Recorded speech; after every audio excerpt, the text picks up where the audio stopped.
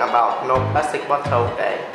I think it's a great idea. Like I think it's a good idea everyone should carry their own water bottle and then because this is something that we have to raise awareness of. There's a place in our school to refill water so we don't necessarily need a plastic water bottle anyway. This plastic doesn't decompose very quickly and it's something that the Ecoschool has been working towards with our mug project. So can you tell us how much do you rely on plastic bottle?